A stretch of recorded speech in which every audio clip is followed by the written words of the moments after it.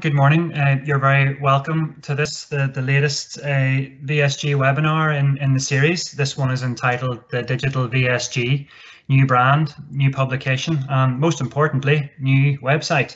Um, so my name is Chris Scott. I work for Outdoor Recreation Northern Ireland. Um, we, we provide the secretariat services for, for the VSG. Um, we're delighted again to have great support for this for this webinar. There's been great support to the series of webinars we've been running since since March, April. Um, we have 65 registered today from all across the, the, the, UK and Ireland, and I can slowly see you coming online there now at, at, at the moment. This webinar, like like all the others though, is, is being recorded, um, so it'll be available on the, the YouTube channel either later today or, or, or tomorrow.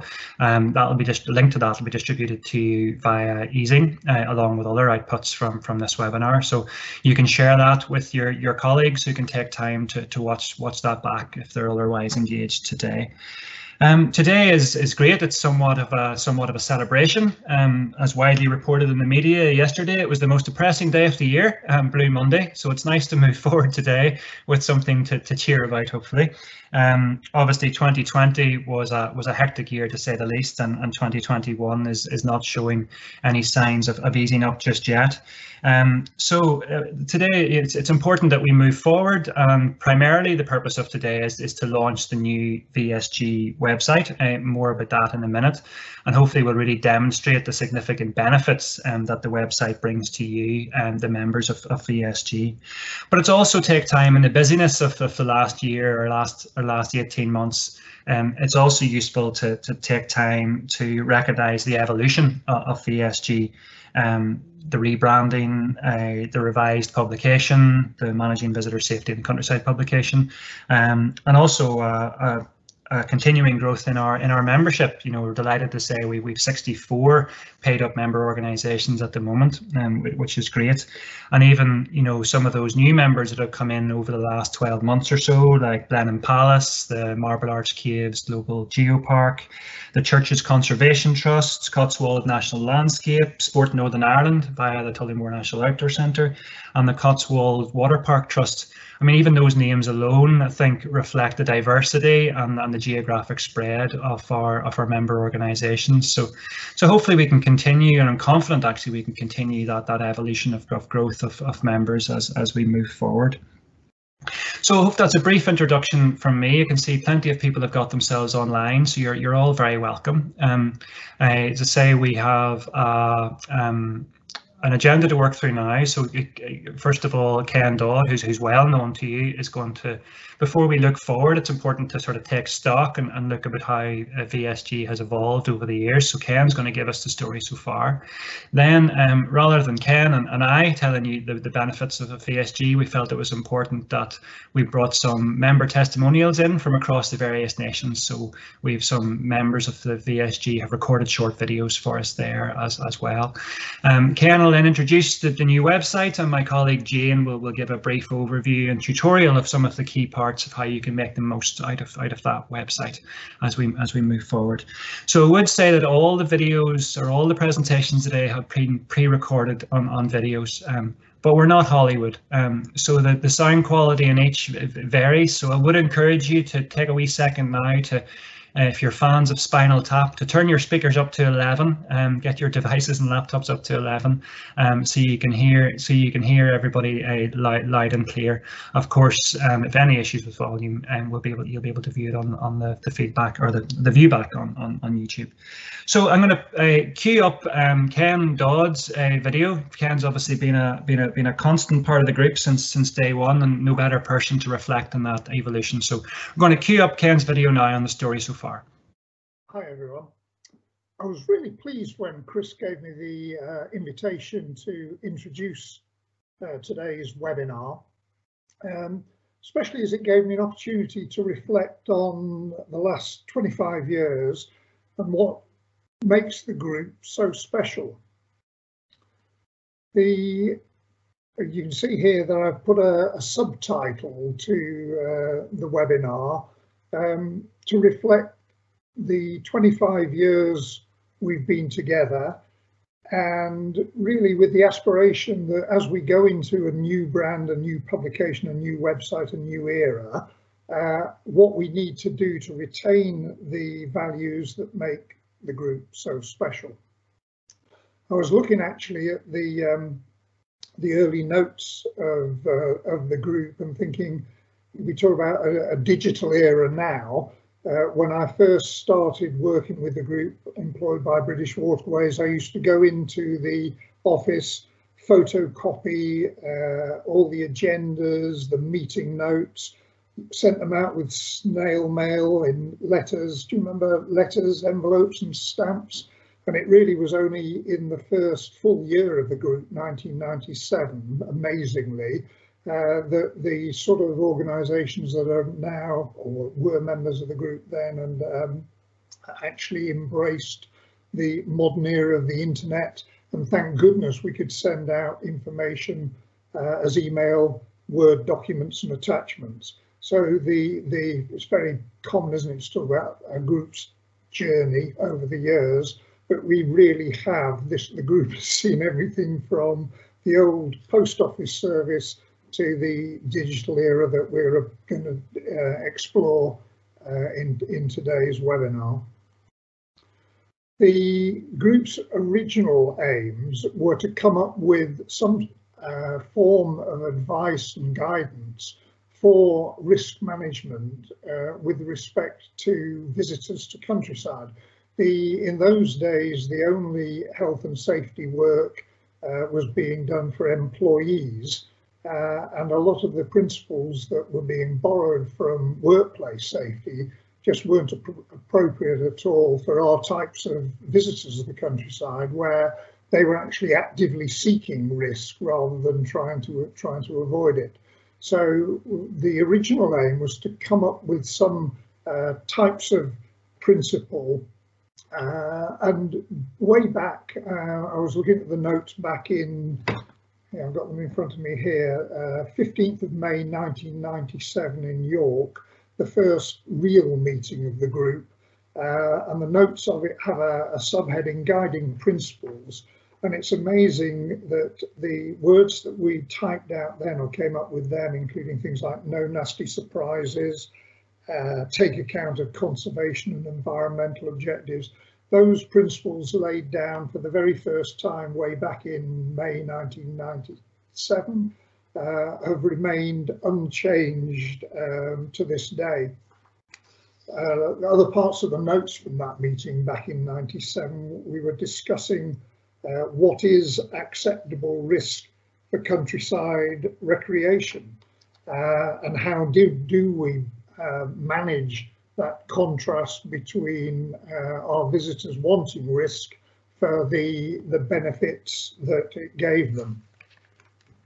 The second original aim of the group was to provide a, a, focal point for those that were at the time interested in um, how we looked after our visitors. So that, that very first meeting had someone from the National Trust, British Waterways, Forestry Commission and the Environment Agency. And I see again from the notes of that meeting that there was a discussion about who else we should invite and English Nature, RSPB and English Heritage um, all, all got all got in, invitations then. And of course, in, in those days, the, the group was no more. It started with six, and for uh, all the early years, in fact, up until 2011, the constitution actually didn't allow us to have more than 12 members. This was deliberately chosen so that we had every confidence in the group of people that were together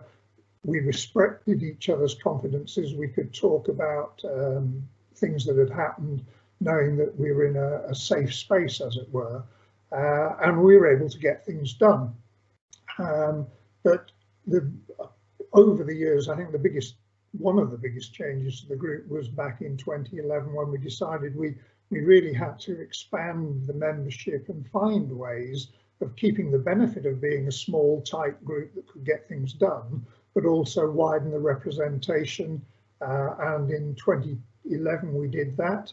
And in 2012, we decided that uh, the sort of principles that we were dealing with for the UK were equally applicable in Ireland. We actually did a review of the law in Ireland and to our, somewhat to our surprise, we found that the, the principles would be perfectly applicable uh, in Ireland. So in terms of what made the makes the group successful, we, we really wanted to achieve a, uh, a wide representation, uh, which we've, we've now got, of course, once we, we, just, we took the brakes off from the numbers in 2011, we've risen to uh, the um, large number that we have now and, and, successfully really covered all the areas of uh, outdoor recreation that are key and important. So navigation authorities, rivers, canals, lakes and reservoirs, many water companies, members, uh, several of the national parks, country parks, uh, forestry, woodland, nature reserves, all very well represented, and uh, all the major owners, I think, of um, historic properties. So the, the breadth of the membership allows us to speak with confidence and gain information uh, widely through uh, the, our areas of interest and of course uh, throughout England, Scotland, Wales, Northern Ireland uh, and Ireland itself. We wanted to come up with advice and guidance that would be accepted by the authorities as representing the, the, best practice, good practice for, for our industry. That was important to us because at the time we felt that the application of the sort of risk management appropriate for factories and offices uh, was just not appropriate for our users in the countryside. And to do that, one of the critical factors was that we had to come up with that advice. It didn't exist. And that small group that I mentioned earlier actually sat down, um, argued, debated, came up with the guiding principles, uh, drafted advice, drafted good practice advice, and eventually leading to um, running a workshop, inviting more and more people to join us and review the advice that we came up with. The first publication, I think, was 2003, and has been followed with uh, several revisions and upgrades.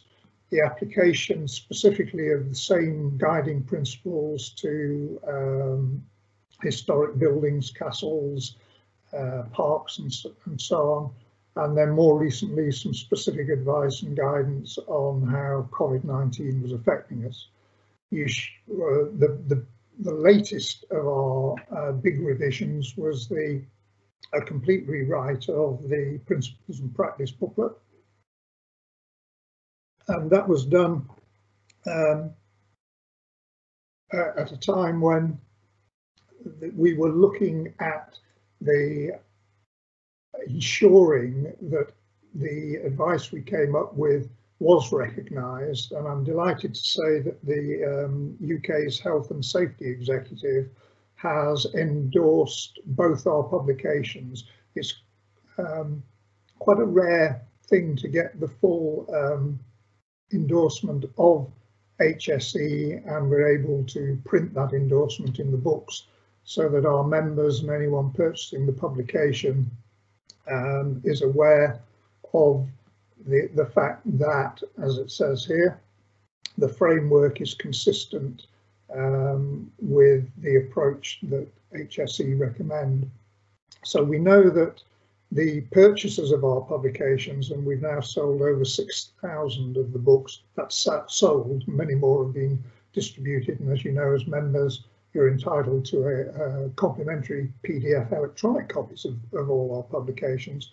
So the the sale of so many of those publications means we know it's in not only in uh, the, the, organisations that are members of the group, but also importantly through many government agencies, um, many universities and colleges, and also well over a hundred uh, major consultancies and, and, contract workers in uh, working in countryside historic buildings have purchased the book. So we know that the principles have been widely distributed uh, and we, we know that um, because one of the conditions of membership of the group is that your organisation is committed to managing using VSG principles, we, we can firmly say uh, that, that the guidance and management practices that we have are well embedded into uh, how to manage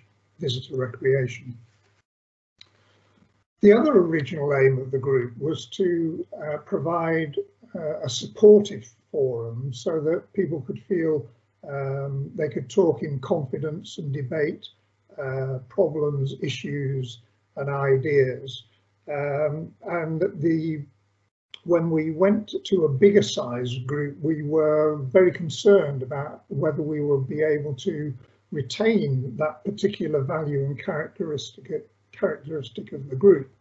Um, we decided to go to a smaller nine-man board who manage uh, the work of the group, uh, but it still very much harks back to those early 1997 days that the, the group's run by us, by the organisations that are members of the group, and every year three uh, places are available for uh, anyone from the membership to participate in running the group by becoming a board member. So I would urge and encourage anyone that thinks they might be able to participate and help that way uh, to let us know. Uh, there are opportunities coming up now for uh, new members to join the board.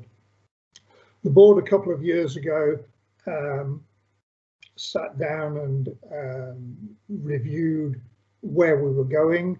Uh, could we retain that supportive forum as we grew? And we believe that we could. Uh, we used an outside uh, agency, uh, Andy Glidden, who helped us look at what our values were and how to take the business, the organisation forward. And we came up with our new name, shortened name, VSG, and our new identity, but very much keeping uh, to the traditions of the group, where originally uh, British Waterways supplied the Secretariat. RSPB used to send out the booklets on our behalf. Uh, more recently, Outdoor Recreation Northern Ireland um, handled our finances. And as we got bigger, we entered into a formal contract for the next two or three years with Outdoor Recreation Northern Ireland for them to provide the sort of professional expertise and a bit more help um, because I needed some assistance. I couldn't manage it all on my own uh, to keep supporting and servicing the needs of the group as our numbers have grown uh, through the wide range, providing a wide range of um, ways in which we could exchange information and support each other very much as a, a cooperative and a partnership type of organisation.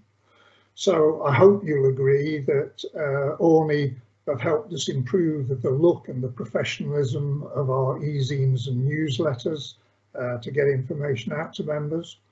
Um, they've also been magnificent in supporting the needs as the uh, workshops uh, grew and of course COVID has stopped us having our normal workshops for 18 months or, or so uh, but we have uh, invested time, effort and energy in this series of webinars. And I think those will continue because it's a really good way that we can open up and share information uh, amongst the group uh, without the carbon footprint of too much travel.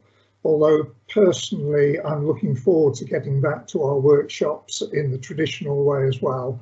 And let's hope that uh, as the vaccine works, as we go into hopefully towards the end of this year at any rate, we may well be able to start to meet together um, again in our, our more traditional form of workshops. But we won't lose this type of webinar and even I might get more skilled at uh, presenting and uh, talking through Zoom and Microsoft Teams. Thank you very much for that, Ken. I say Ken has been a been a constant in, in, in VSG over the years and um, brought a huge amount to, to the organisation and is very understated in his presentation with with his role there. Um, thanks, Ken, to the kind words for us. I think we're, we're quite new to the to the to the network, to the overall organisation, um, but we've really enjoyed our, our past uh, sort of 14, 15 months in in, in the role.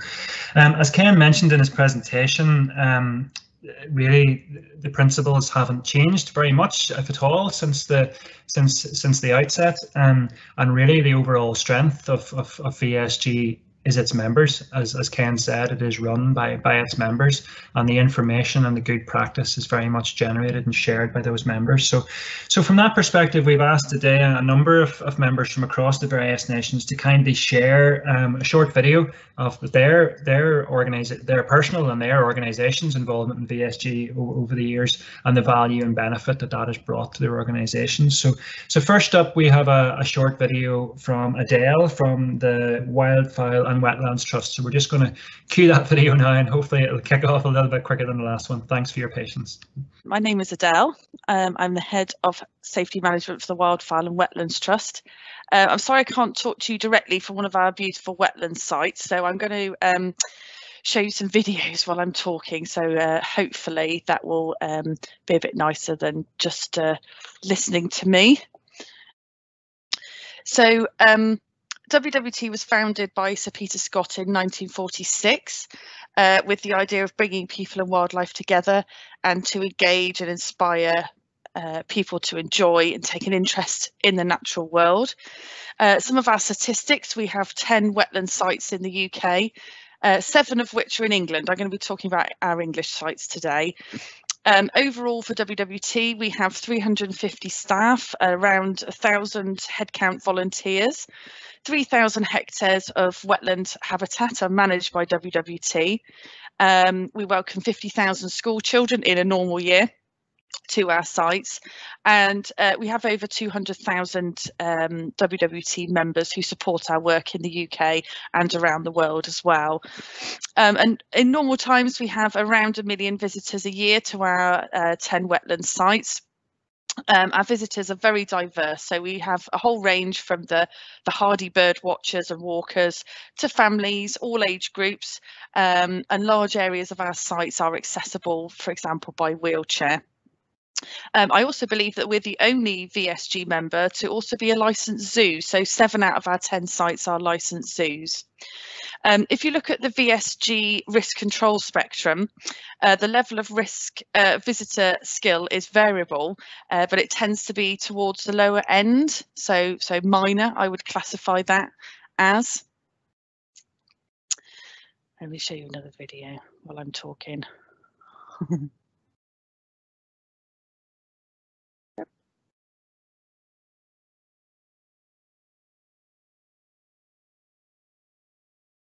who got a time lapse of some of our building going on.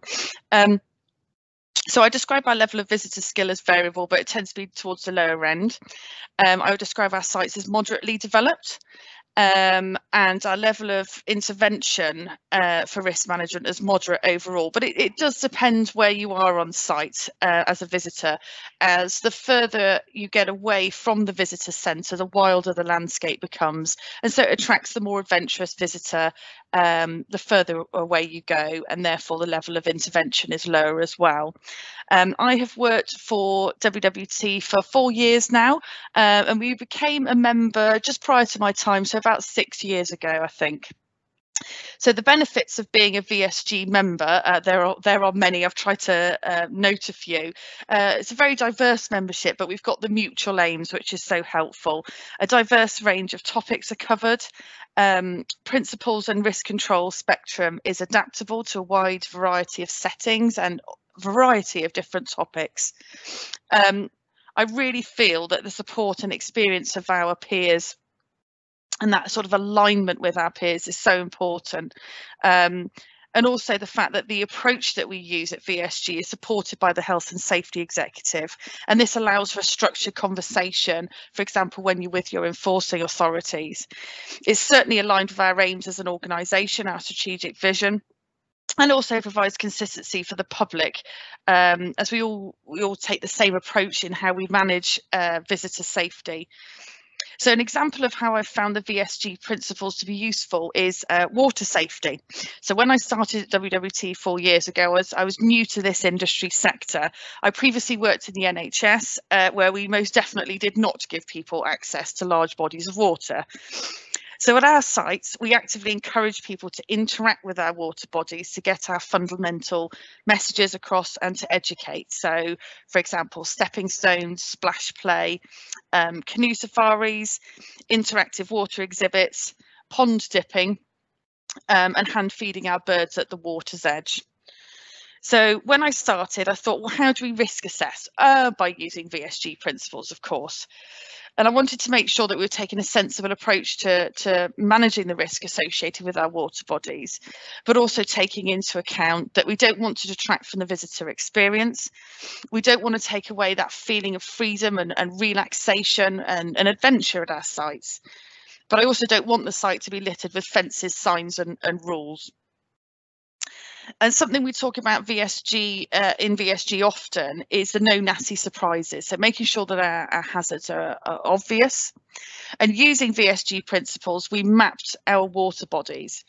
And this in turn allowed us to think what, if any, risk controls were needed, such as design of the water body that we want people to interact with. So a gentle slope, not a sharp drop. Um, how people access the water body, so clear and obvious hazard, footpath routes, those kind of things. What were our expectations of our visitor behaviour and, for example, the children um, attending our sites? Did we need to use vegetation as a natural barrier, for example, if there was a risk identified?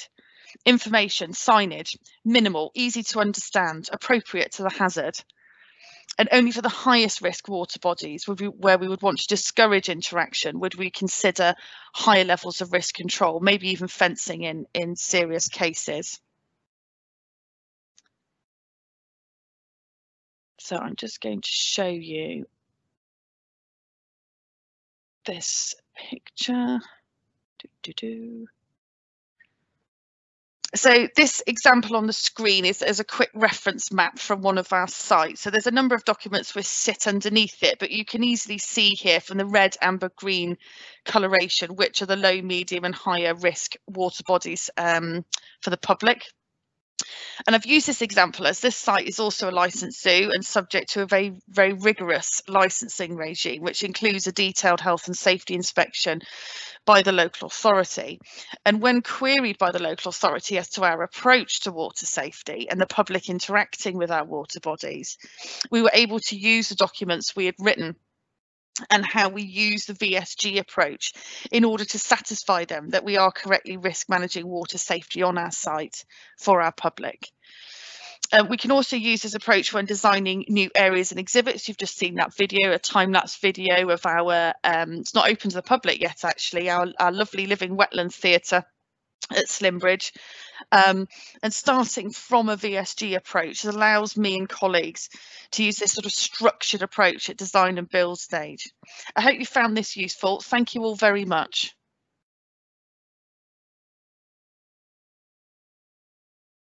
Great, thank you, thank you very much, uh, Adele. Great to see some uh, practical examples of how the, the principles have been utilised within within the various WWT sites there. And nice to have a piece of mindfulness at the start there too. Great to see some outdoor space on this dank, dreary day in, in, in Belfast in those initial videos. Um, of course, Adele was a was a real leader within within VSG, particularly around the, the start of the response to, to, to the to the COVID pandemic you know, as, as a member, uh, Adele was very proactive in setting up that that peer response group. So again, a really good example of how members can can really add to the to the to the overall uh, network. Um, and of course, Adele was then co-opted as a board member during the year as well. Um, so um, we're going to pass on now uh, to the next video is from from Tom O'Keefe. Tom's from the State Claims Agency in, in Ireland. And of course, we have about um, 15 or so members, um, member organisations from Ireland, which is about 20% or so of our overall membership. So a significant membership from Ireland. So Tom's going to give us an overview um, from his perspective. Good morning. My name is Tom O'Keefe and I work with as a risk manager with the State Claims Agency in Ireland. I'm also secretary of the Irish uh, members group of the Visitor Safety Group and have been a member of the management board of the Visitor Safety Group since 2016. Established in 2002, the State Claims Agency manages claims and provides risk management advice for a large number of state authorities and government departments in Ireland.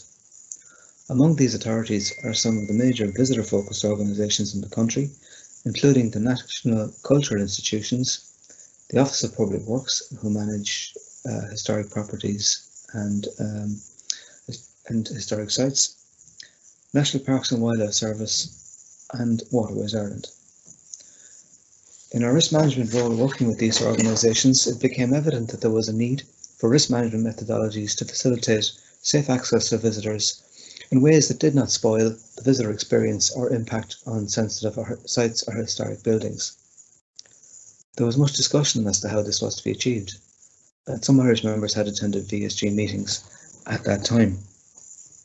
However, two fatalities at the World Heritage Site of Skellig Michael off the southwest coast provided the impetus to the State Claims Agency and a number of other groups to explore this issue further.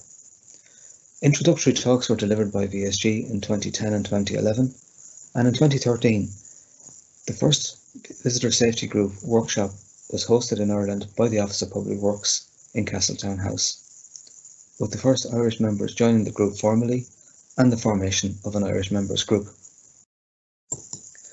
From an initial number of six, there are now 16 members in the Irish group, covering most visitor-focused organisations in the Republic of Ireland, some cross-border organisations, and our host today, ORNI. Since the Irish members have hosted, since then, Irish members have hosted a visitor safety workshop once a year, and this has allowed Irish members to showcase risk initiatives which have worked well for them, and also to seek advice on issues that may be challenging. The Irish members also meet separately, which provides a forum for discussing and seeking solutions to distinct Irish issues, as well as keeping members up to speed with learnings from workshops held in the UK. There have been obvious benefits to membership in that time, but I would like to highlight the assistance provided by the Visitor Safety Group to the State Claims Agency and National Parks and Wildlife Service in the Wicklow Way case in 2016. In 2016, a worker successfully sued the National Parks and Wildlife Service in the Circuit Court after falling on a section of boardwalk on the Wicklow Way, one of Ireland's busiest waymarked trails. Had this judgment been allowed to stand, it would have had negative implications for all landowners that allow visitors onto their property. This case was appealed to the Court of Appeal, the preparation for which was assisted by the Visitor Safety Group, both as a group and by individual board members, who provided advice and directed the defence team to relevant previous case law.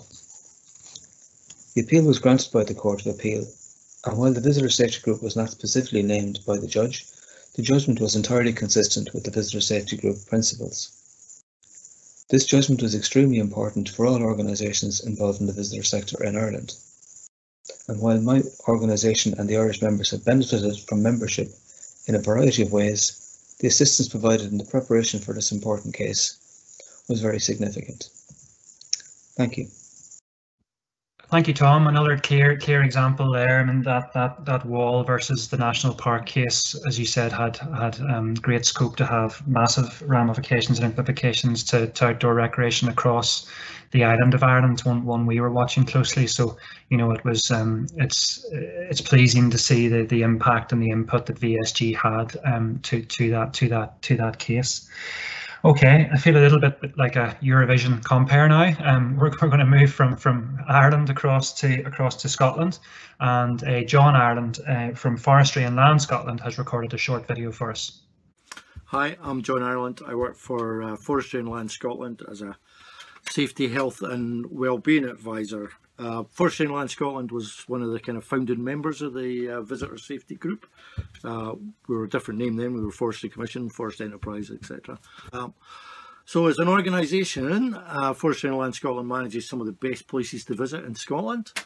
Uh, we've got over 300 destinations, including six forest parks, you know, various mountains, lochs, riversides, water, beaches, 750 miles of waymarked trails, we look after kind of iconic sites like uh, Queen's View, Highland Perthshire, Glen Affric in the West Highlands. Uh, we've got like Seven Stanes Mountain Bike Centre, um, but it's not all about like kind of rural areas and things as well. Um, we maintain a lot of urban woodlands, including Cuningar Loop, uh, which is in the heart of Glasgow. Um, so, you know, as Scotland's national forest, on land. We host around what 10 million visits a year. Um, you know, we're Scotland's largest land manager. We, therefore, we're in a unique position, unique position uh, with the kind of Land Reform Act and our kind of commitments to that. Well, you know, we actively work with communities that want to get more involved in their local forests, all that type of stuff. You know, so we're, we're busy. We're busy. We deal with a lot of people.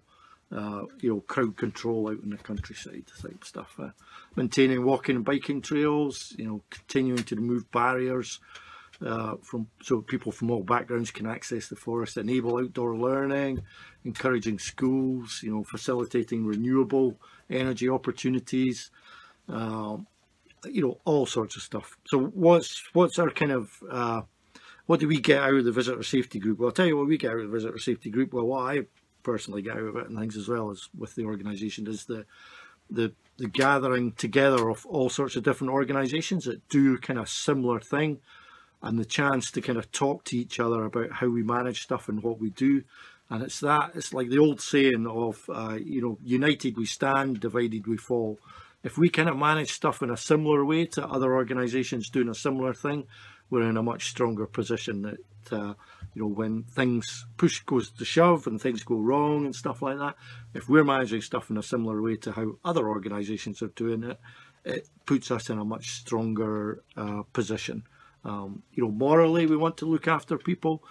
Legally, we have to look after people. You know, financially, we want to look after people. If you think health and safety is expensive, try having an accident. And you don't need to kill many people to get yourself in the news and things there. So that's, you know, that kind of whole system, that kind of moral, legal, financial, PR stuff.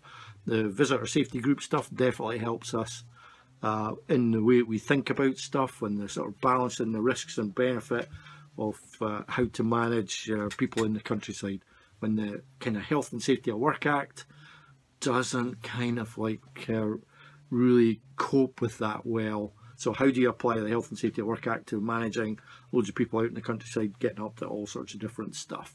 That's where the visitor safety group really kicks in and helps you kind of interpret that sort of stuff and apply it in a you know a balanced, sensible way. Okay, uh, thanks, thanks very much, John. Um, united we stand, divided we fall. Maybe that should be our be our new catchphrase uh, moving forward. It sum, sums it up very well, I think. Um, so yeah, great overview uh, from from John there. Thank you very much, John. And again, somebody who as he said in his video, gets a lot out of VSG, but certainly puts a lot in as well. I know uh, well, our first uh, workshop that we delivered as Secretariat was in Northern Ireland about um, informal or natural mountain bike trails, and John was certainly a, great help and support to us in delivering that. Um, so the last video then from the nations is uh, Dave Liddy um, from Natural Resource Wales. So I'm going to cue Dave's video now. I'm Dave Liddy, and I'm Recreation Safety Advisor for Natural Resources Wales. I sit on the board of the Visitor Safety Group. Natural Resources Wales, 126,000 hectares of forest, 58 national nature reserves, 5 visitor centres, 38 mountain bike trails covering nearly 600 kilometres, 75 picnic sites, and we believe we're visited by about 6 million people in any given year. Being a member of the Visitor Safety Group is particularly valuable that will give us a proportionate and sensible approach to managing visitor safety. That will enable us to balance the risks and the benefits. It's important to strike a balance between visitor self-reliance and the amount of management intervention. Now, given that Natural Resources Wales is responsible for nearly 7% of the land area of Wales, clearly one thing, one size doesn't fit all. And the Visitor Safety Group and its frameworks give us a rationale for managing visitor safety across all of our sites to give us that proportionate and sensible approach. I'm really keen on the value of special places and using the Visitor Safety Group framework will allow us not to put up a sign not to spoil the special qualities uh, of any given place, whilst at the same time managing visitor safety. Visitor Safety Group has got a commitment to promoting a sensible and proportionate approach to managing visitor safety in the countryside. The guidance provides a valuable framework for managing risks to visitors, being sensitive to the landscape and not putting restrictions on access. So at the end of the day, the visitor safety group is certainly one of the most enjoyable parts uh, of my job. We get to share industry best practice, we get to manage and visit the countryside, uh, excellent series of workshops every year, webinars this year, uh, sharing industry best practice, meeting a lot of like-minded professionals with whom you can discuss a lot of very common threads. You know, everybody's got wild trail mountain bikes and illegal off-roading. Everybody's got cliff edges and water courses and wild swimmers are everywhere. And it's been really useful uh, over the years I've been a uh, part of the Visitor Safety Group uh, to meet other organisations and their staff and to see how they deal with those kind of challenges. And then while we're away on those field visits, uh, there's always a bar, uh, there's always a nice meal, uh, and you get to meet a load of really great people. So what's not to like? The Visitor Safety Group.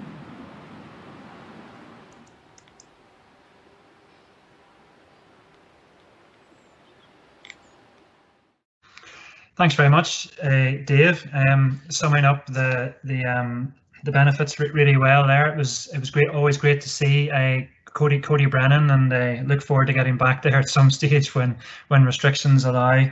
Also good to see the, the VSG pop-ups there as well. I think they were originally designed for a for a physical uh, workshop that would launch the VSG website. So good, good, good to see them being uh, good to see them being put to use uh, with with with the video. Um, so now we're going to move to the the launch of the, the website itself, um, the key part of this this webinar. Thank you to all those members for taking time to record their, their videos and, and, and send them in. I'm going to pass on uh, briefly, first of all, to, to Ken, um, who's going to provide an introduction to the launch of the website, and then we'll go straight to straight to um, straight to Jane, um, who is going to give us a little overview and a tutorial of some of the key features of the website. So first to Ken, and then straight to Jane. Thanks, Ken Well, the um, new look for the group and the new name for the group led to uh, a new logo. I see um, historic buildings and landscape and leaves. Other people say they see me, a grumpy old man, in that logo. Uh, but it seems to have gone down pretty well, and uh, group members seem to like like the new look. Of course, that has left us, did leave us with a website that was creaking, um, running rather unsteadily with the old look. And so it's been very important for us to uh, put the new the, the website into the into the new image of the group. But to me, more importantly, to take the opportunity uh, to make the website more responsive to uh, us, the users and we've designed it on a new platform, WordPress. And although throughout this uh, webinar, people have said, oh, the principles haven't changed and the guidance is still solidly based from all those years ago, unfortunately, the case studies and the information on the website is also based on information and studies from all those years ago. So what we've deliberately done is designed the site to work a bit like Wikipedia so that the new case studies and the guidance um, can be improved, brought up to date and made alive for the benefit of members by enabling members to uh, give us uh, better photographs, more up-to-date examples, new case law or examples of how the case law has helped your organisation. And Jane has been beavering uh, behind the scenes to produce a framework so that when you following this webinar go onto the site, look at it and think, oh, I've got a better photograph of that. Or, oh, yes, that case law was important to us in uh, saving us in uh, from uh, a claim against us let Jane know and we can put that up on the site so it becomes vibrant, it becomes uh, lively and used every day and right up to date. So it's our website and we need to use those techniques to make it vibrant and uh, valuable to all of us. Uh, Jane's going to show us how to do that, I hope. And when you see these things, let her know and she'll update the site so it becomes a reflection of the liveliness of the group going forward. Hi, my name's Jane and I am on the VSG Secretariat with Chris and Elizabeth. So I've been working behind the scenes for the last few months during COVID um, to help develop and bring the new website to launch. I'm delighted to announce that we're at this point where we're able to show this to you and um, give you an exclusive first glimpse. The website is now live and you can find this via visitorsafety.group and this will come in your Google searches as well. This is the old VSG website filled with fantastic content, exclusive member access, and I'm sure lots of you have used it on a regular basis, even more so perhaps during um, the latest pandemic. But things are looking different around here, and I'm delighted to present to you today the brand new website. It's colourful, it has pictures, but it, the main thing is it's packed full of fantastic resources and content for our members. We hope that the new website will help you find easy access to the things that you need, um, whether it be case studies, um, whether it be topic guidance, whatever it is. We hope that you find the new website super easy to use. In this presentation today, I'd like to present to you um, the new website and give you just a whistle-stop tour of some of the highlights. Welcome to the new Visitor Safety Group website. You can find this by searching for visitor visitorsafety.group in your URL or else through Google search. You see that our new website looks very different, but we hope that the easy to navigate menus will help you find your way around the site quickly and easily. There's a menu at the top of the screen that you can use to navigate around the site, and also on the home page we've created quick navigation buttons that take you to some of the key areas of the website fast.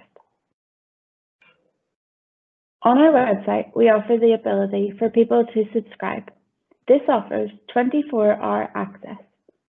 You can subscribe by clicking on the top right of the screen. This page offers you some more information on what the subscription offers, as well as further information on the Visitor Safety Group.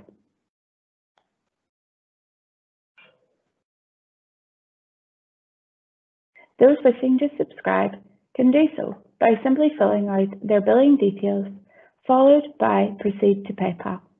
All payments are made through PayPal and can be done through an existing account or created as a customer to PayPal, which is a temporary account available. Members of VSG can sign in directly to the website by clicking the sign in option, which again can be found at the top right of the screen.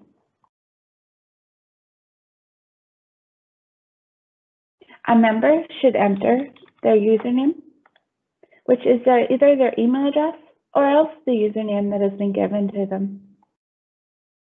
Enter the password and you have the option to select remember me or not. We recommend that all members change the password the first time they visit the website to something more memorable. The About Us section of the website offers lots of information on the Visitor Safety Group from what we do to members, board members, information on becoming a member, as well as our governance and constitution. By clicking on members, you will see that we display all of the logos of our members. The Contact Us option offers you the ability to find out quickly how to get in touch with the VSG Secretariat or the chairperson. You also have the option to join our mailing list if you want to find out the latest information on upcoming events and webinars. The news section again can be accessed from the top right of the menu. You'll be able to find out the latest information on what's going on at VSG. You'll be able to click on options and find out about what's going on. For example, this introduces one of our newest board members, Anak Principles, practice, and topic guidance are some of the key areas where you can find information on our website. You can use the left-hand navigation to find your way back and forward from pages, and we recommend using the breadcrumb trail located within each picture.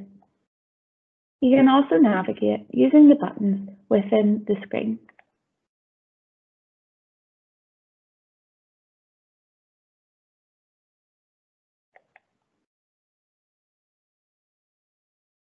Each page is packed full of content, as well as downloads, links to videos, and further information. The Law and Visitor Safety is another section of our website with a wealth of information. You can navigate through this section using the buttons on this page.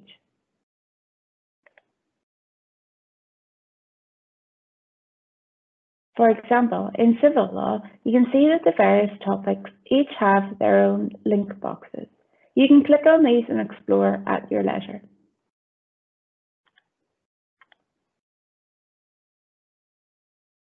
Within the law and visitor safety, we have also included a bespoke section on case law summaries. Here, you can search by categories, as well as through the search box, if you know exactly what it is that you're looking for. By clicking on Read More, you'll be able to find out more about these summaries and read them for yourself. Case studies can be accessed from the menu at the top of the screen. You can see that this has also been categorized and you can search for case studies that you know the name of in the search option. Again, case studies are held here and are examples of work that has been done by our members. These cover a wide range of environments, projects and organisations. Simply click on read more and it will bring up the article. One of the fantastic new areas of our website is the events section. This is where you can find the latest information on upcoming workshops and webinars. It is also where you can find resources on webinars and events that have taken place. You can see here that there's a listing for a new event. Simply click on read more and it will bring up the event.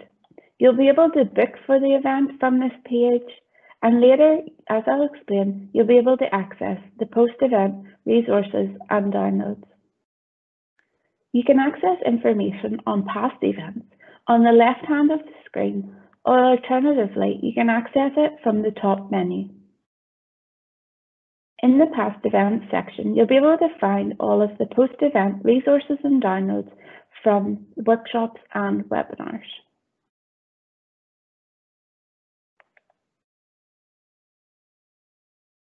By clicking on the past event, you'll be able to access downloads on the left-hand side, as well as transcripts. This is from a recent webinar.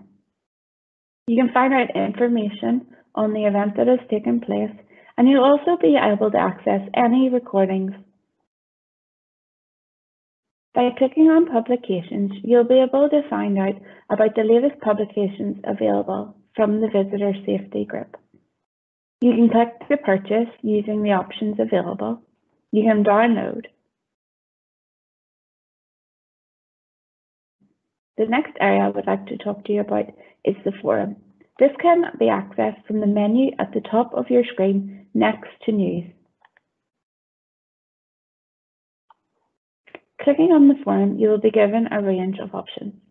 If you have already got a Slack account and connected with the Visitor Safety Group, please connect via the top button. If you have yet to get a Slack account or are looking to join with the Visitor Safety Group Slack channel, please use the invitation at the bottom. When you first sign in to Slack, you will need to enter your username and your password. Welcome to the Visitor Safety Group Slack channel. This forum really is what you make it. The idea behind this channel is to connect you with other members on an ongoing basis. We recommend you check this page regularly to find out what other discussions are taking place. We also encourage you to post any issues you're having that you would greatly value the advice of others on. You can see here that an access issue has been posted by Andrew Watson and other members have been responding. As you can see, the website is filled with pages of information. The best way to explore is to check it out for yourself. And so we welcome you when you receive your member login details to sign in and check the website out. We welcome feedback on the website And we also encourage you to share the website with others in your organisation. If a member of your organisation would like to be set up for account, please email jane at outdoorrecreationni.com and we can arrange that for you. So enjoy. We look forward to hearing the feedback from our members.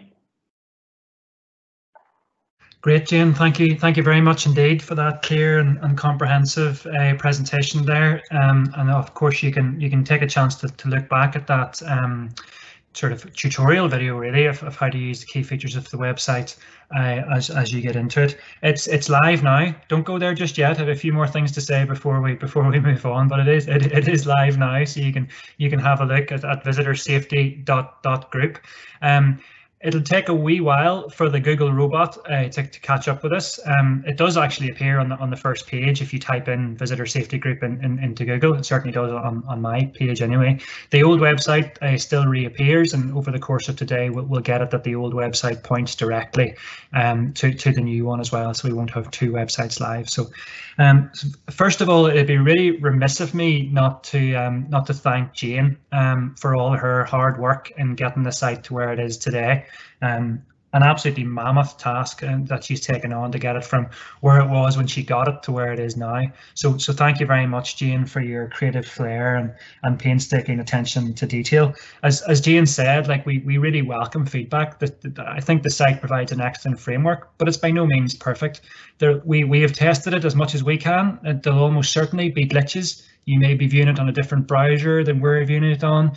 You may you may find a link that doesn't work. Please help us out. We'll we'll, we'll not be will not be uh, annoyed at all if you send Jane a, a, quick email saying the section doesn't quite work right. Um, you know, maybe you could have a look at this. We'd really welcome it. So please help us as members uh, do that. Um, hopefully we're pretty close, but we, we have inevitably missed a few glitches here or there.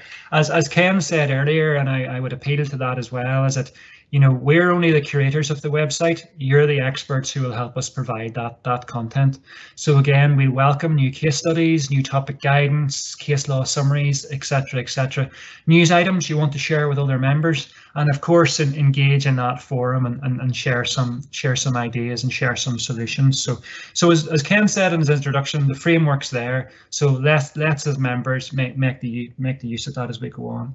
I should also say, you know, that, that Ken himself has performed a, a, a again a, a, huge editorial role really in in, in getting the website uh, up and live. A lot of information has transferred from the old website and, and that needed edited and updated, and a lot of new information has gone onto the website as well. So again, another mammoth task from from Ken to take that on board. So so Jane and Ken certainly formed a, a very very dynamic team and have put a lot of hours into that over over the last couple of weeks and, and a couple of months. Um, as Jane said, um, the key contacts, um, so for 64 paid member organisations, there's a key contact for each of those organisations. Hopefully you, you know you know that's you. Um, those will be emailed. Uh, so today, each of those key contacts will be emailed um, with the username and password of how you get access to the website.